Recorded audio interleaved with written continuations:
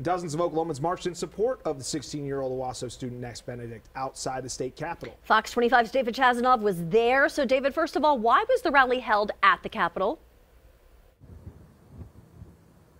Wendy, people who attended the event say lawmakers here at the Capitol are not representing Oklahomans appropriately.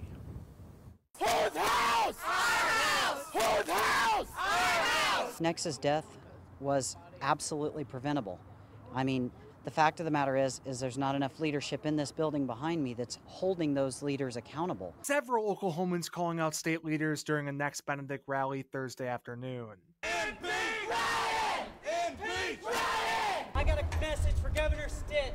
I've got a message for Ryan Walters. We're here. We're not going anywhere. Some students from Classen SAS even staged a walkout with their assistant principal to support the 16 year old. Trans lives matter! Trans lives matter! We deserve the right to be children in peace at school. Yeah.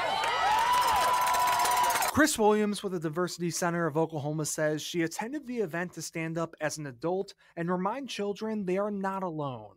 Nex's death, no matter how that came to be, um, is is not it's not okay, and so we have to fight for the justices of our community. Um, like I said, not only for our children, but for all of us. Protect trans kids! Protect trans kids! State Rep Mauree Turner also made an appearance, getting emotional about the event having a great turnout. There are so many communities that have been touched and deeply affected by Nex's death that are still doing this work, and it, so it's just it's nice to uh, also understand that folks are still coming together in community. They keep talking about a top 10 state. What do we see?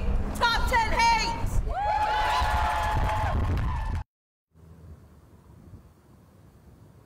Turner says, as a non binary lawmaker, they're very thankful to be a voice when they can. Reporting live at the state capitol, David Chasanov, Fox 25 News.